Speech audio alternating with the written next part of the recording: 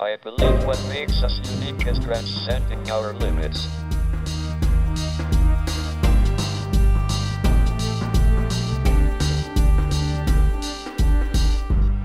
Because we are human, and our nature is to fly.